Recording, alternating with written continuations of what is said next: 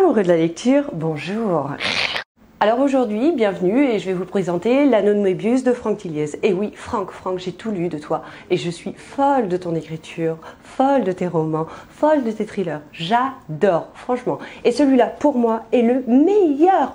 Il y a de tout dedans. Un petit peu de science-fiction, un rythme haletant, vraiment, j'adore, j'adore, j'adore. L'énigme est passionnante, palpitante, c'est fantastique. Pour la note sur 10 pour Franck Tilliez, l'anneau de Moebius, je lui mets 10 sur 10. 10 sur 10 les cocos Au revoir.